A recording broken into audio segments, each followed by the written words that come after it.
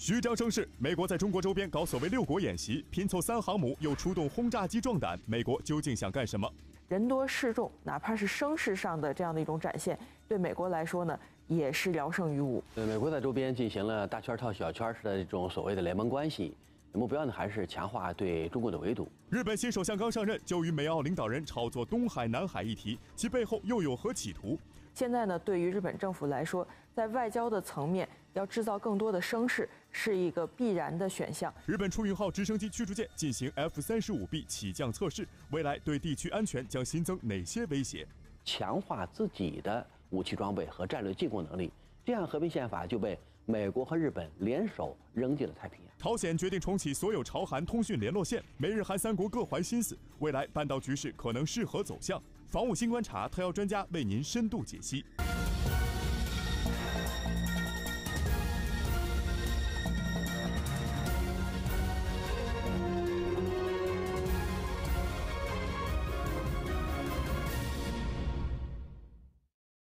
欢迎收看《防务新观察》，我是宁钊。据南海战略态势感知平台发布的消息，美英等六国出动了包括卡尔文森号、里根号。伊丽莎白女王号三艘航母在内的十七艘舰艇在菲律宾海举行军演。具体内容，我们来看今天的第一个观察短片。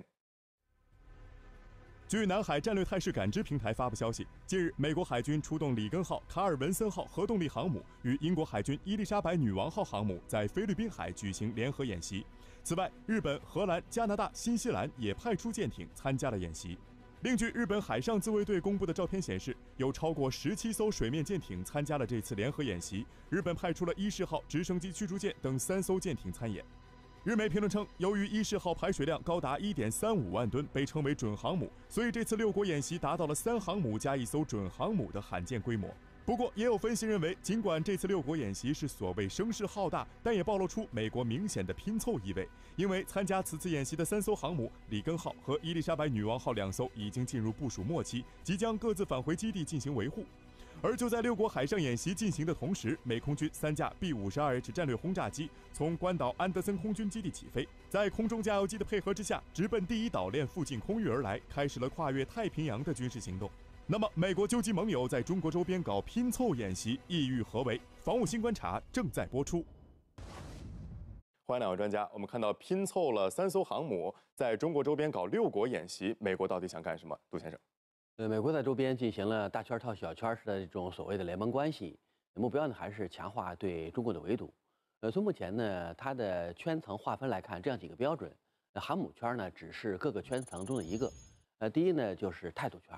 比如现在的美英澳的联盟关系，他认为与美国能够保持百分之百的一致。呃，只要美国想发动各种军事行动，呃，这些国家呢会百分之百的支持。呃，从冷战结束到现在，呃，英国、澳大利亚参加了美国所有的对外军事行动。那第二个能力圈，比如说有一定的标准才可以入圈。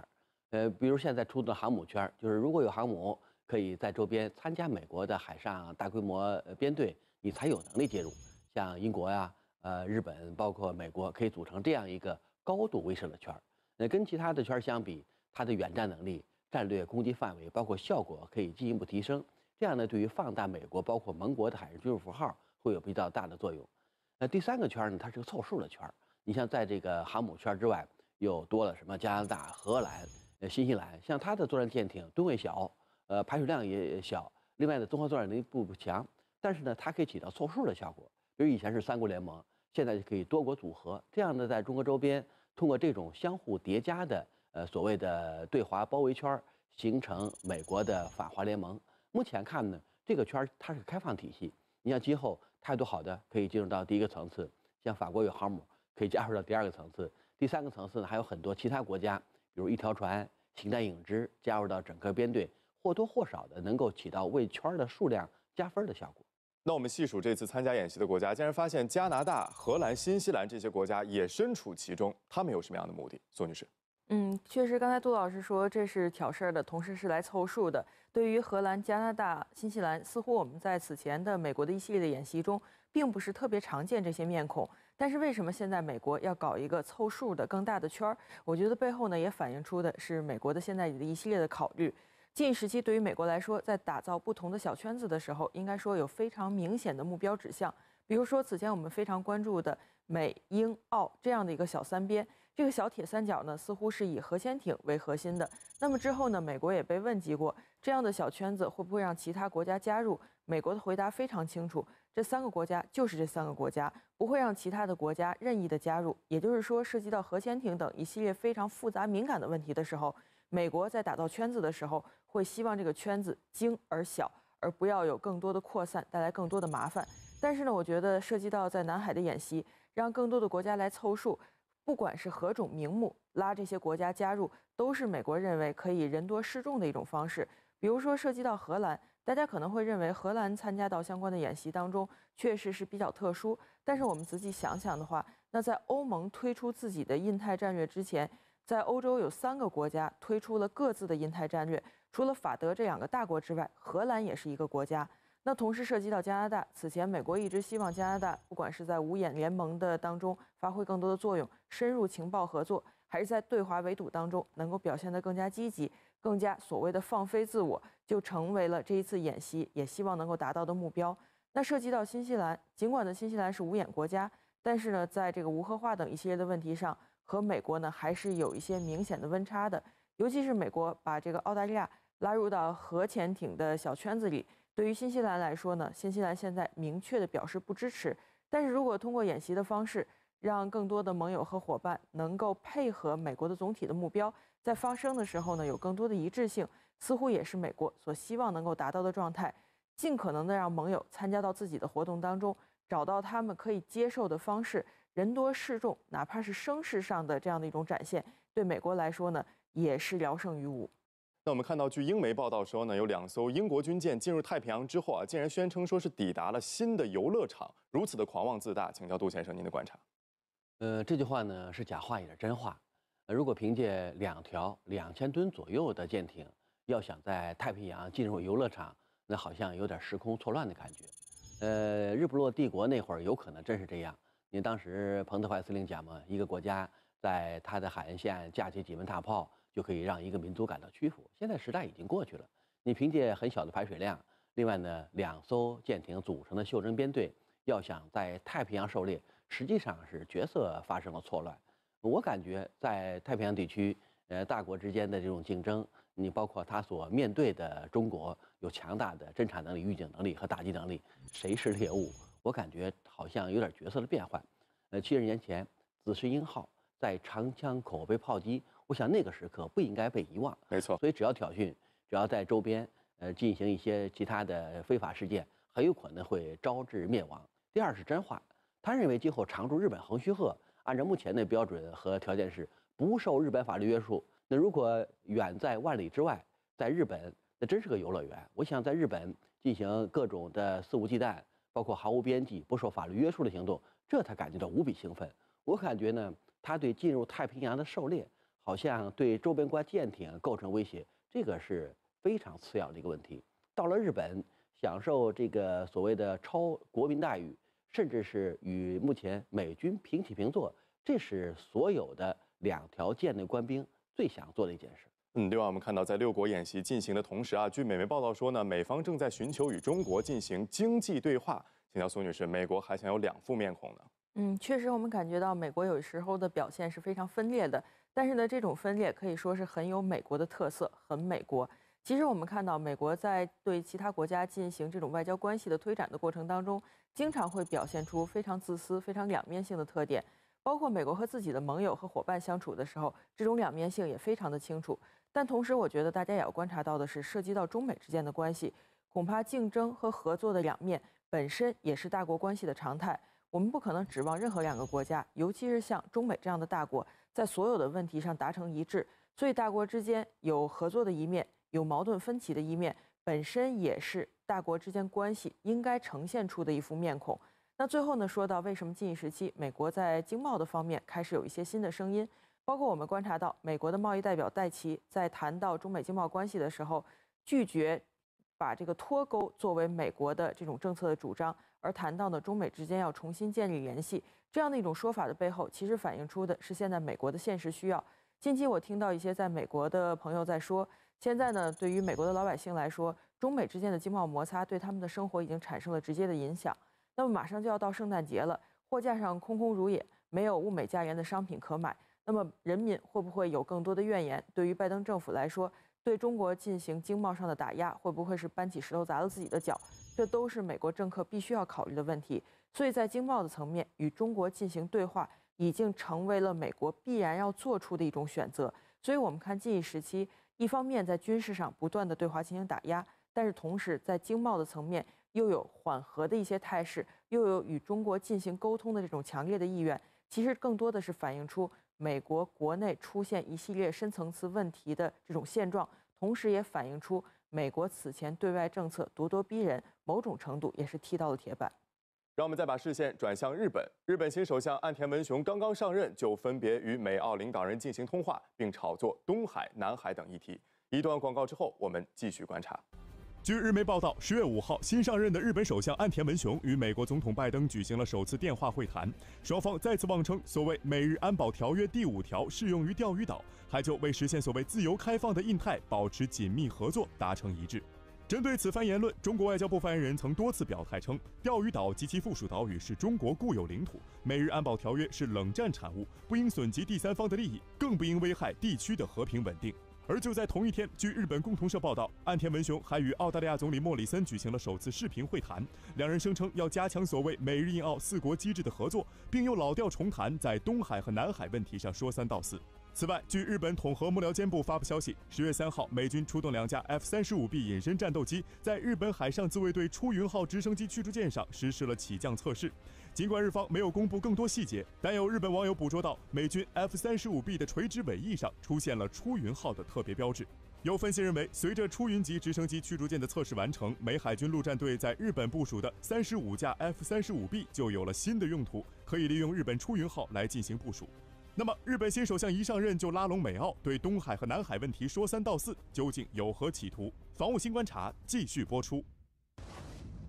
请教两位专家，我们看到日本的新任首相岸田文雄刚上台啊，美日就又在钓鱼岛问题上老调重弹了，能达到什么样的目的呢？苏女士，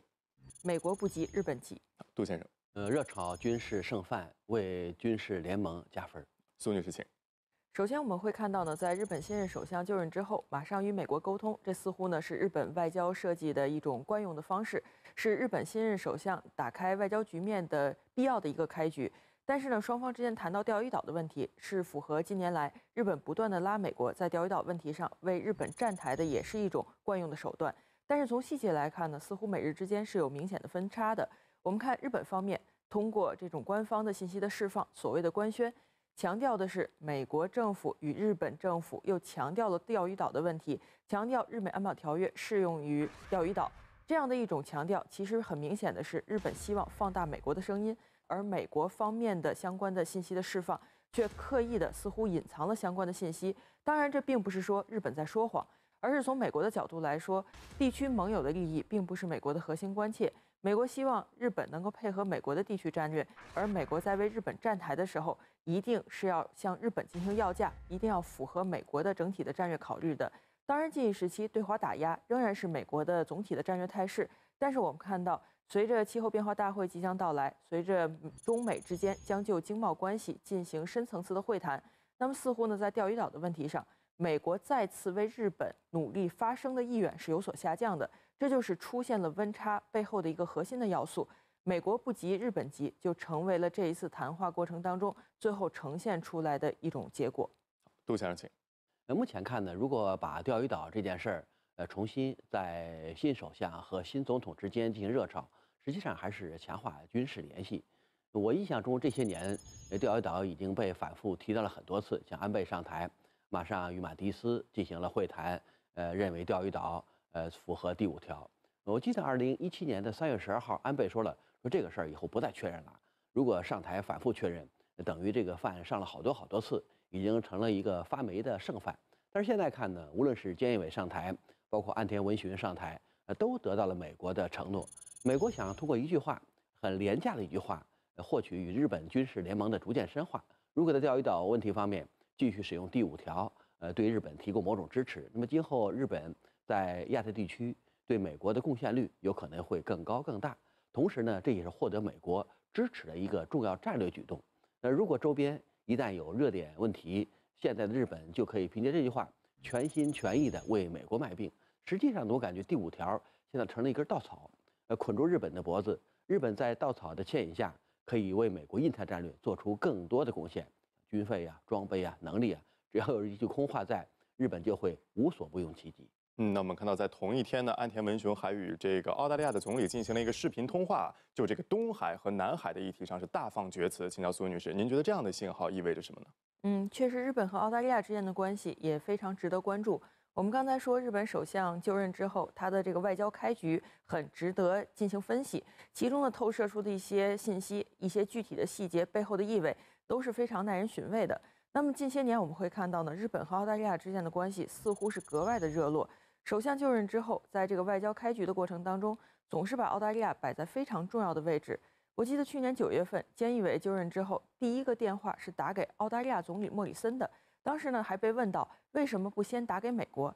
而菅义伟呢是非常淡定的回答，因为呢，日本和澳大利亚之间的关系也是非常重要的，这是一种日本的需要。那么我们看到呢，这一次刚刚与美方进行沟通之后，立刻呢又与澳大利亚进行了会谈。那么从日本的角度来说，并不是说澳大利亚现在对于日本的作用已经强于美国，或者是在刻意凸显它的作用。相反呢，日澳之间的合作是更多的向美方释放信息，尤其是在双方谈到南海问题的时候，是向美国表明，美国的南毛、北毛现在在进行更加强势的合作，美国希望打造的地区同盟的网络体系正在构成的过程当中，日本和澳大利亚正在建立准军事同盟关系。而同时呢，谈到东海，很明显的也有日本塞斯货的一些考虑，希望呢有更多的地区的美国的盟友来为日本站台。美国在推动地区同盟关系的时候，日本也可以分一个杯羹，也可以蹭一些热点。所以呢，从这一系列的不管是电话的沟通，还是视频的会谈中，我们都可以读出，现在呢对于日本政府来说，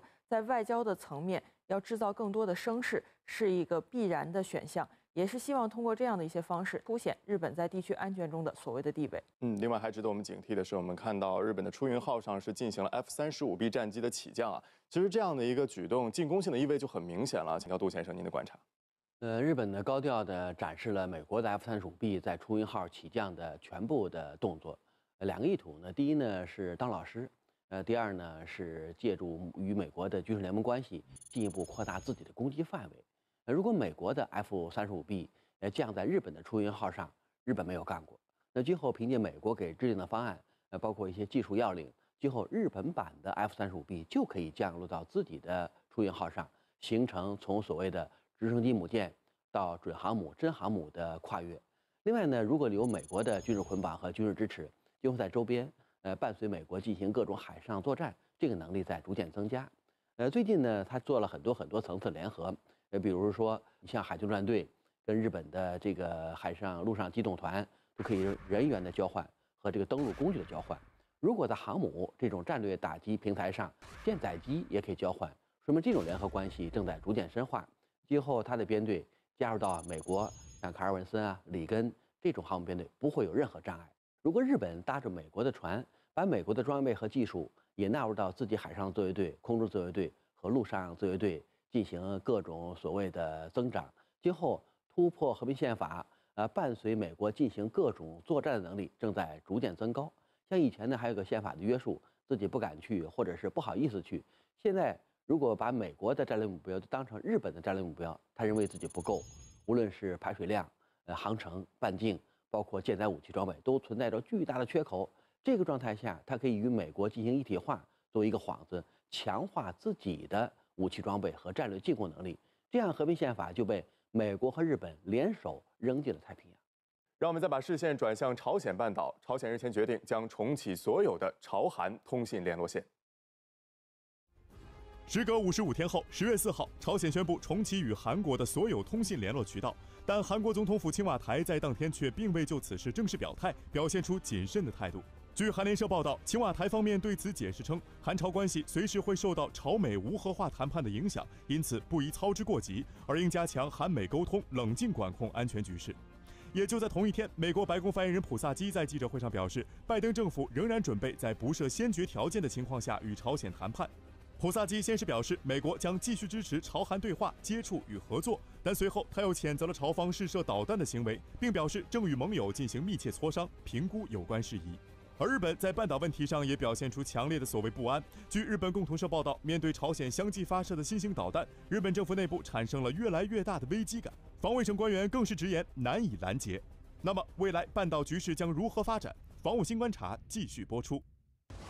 我们从短片中看到，朝鲜呢近期是决定重启所有的朝韩通信联络线啊。您觉得这样一个动作释放了怎样的信号呢？呃，至少两个信号。第一呢，释放善意；呃，第二呢，在提醒韩国。呃，目前呢，在半岛地区各种武器装备的试验，呃，最近达了个小高潮，而且朝鲜方面明显占有优势。无论是巡航导弹的试验，呃，超高声速导弹的试验，列车导弹的试验，都说明它在导弹这种武器装备技术上占据绝对优势。韩国只打了一个潜射弹道导弹，而且也是朝鲜之前进行过多次试验的一种技术。呃，如果技术占优势，能力占优势，它是并没有采取强迫性的手段，而是打电话进行沟通。实际上呢，还是告诉韩国，呃，即使双方能力并不均衡，呃，朝鲜在导弹技术上占据某种优势，但是依然可以谈，通过谈来解决半岛所有的问题。我想这个信号呢，是一个相对善意的信号。第二，在提醒韩国。如果在这个时刻强化与美国的军事联系，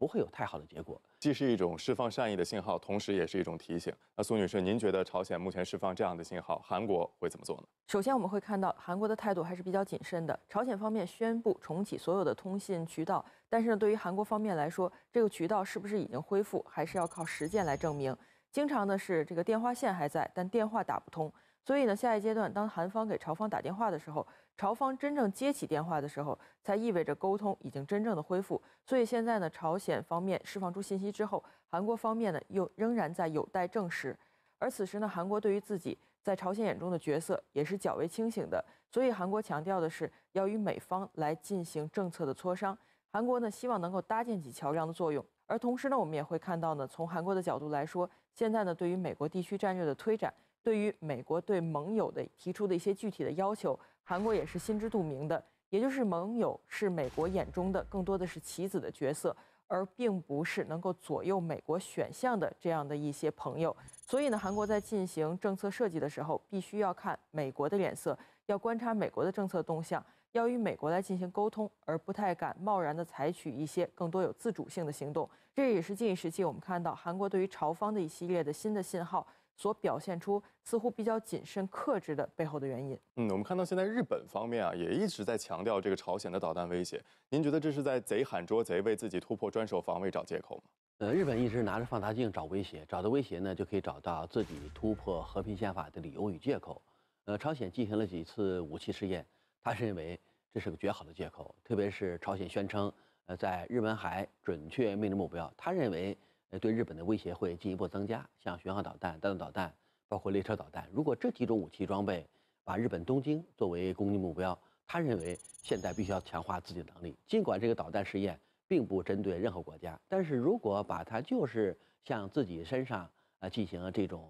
招揽，那实际上呢，还是通过导弹放大威胁，形成突破和平宪法的一种战略工具。我想现在看呢，如果他的 F 三十五 B 出云号。再加上它的这种所谓的巡航导弹，以及准备引进的中导武器装备，在日本大量部署以后，它就可以很好的平衡这个关系，为自己突破专属防卫找到合理的借口。嗯，那我们看到这一时期局势发生了一些微妙的变化。乔苏女士，您觉得未来半岛的局势将会走向何方呢？近一时期我们会看到呢，朝鲜半岛的局势似乎在可控的范围之内，但是矛盾的火种依然存在。还有一些势力在煽风点火，这是一种非常危险的动向。近期呢，美国的立场是非常的分裂的。一方面说愿意与朝鲜方面进行沟通，但另外一方面又对朝鲜进行谴责。而且呢，在谈沟通的时候，并没有任何的细节。就像朝方所说的，美国现在的这种所谓的对话的言论，不过是一种伪装，是伪装美国对朝在进行打压的实质性的行动。所以呢，美国的这种行动表面上看没有煽风点火，但实际上是在刺激局势。如果呢继续延续下去，没有更多的对话的诚意，而是坚守自己所谓的政策的一些基本的原则，那么对于半岛的局势未来会产生更大的刺激作用。所以现在我们会看到，朝鲜半岛局势仍然是波诡云谲，仍然是有一些这个非常复杂的因素在涌动。这里是防务新观察，感谢两位专家的分析，也感谢您的收看。想要获取更多的军事新闻，欢迎您登录中国军事网，或是关注中央人民广播电台中国之声国防时空栏目。我们明天同一时间再见。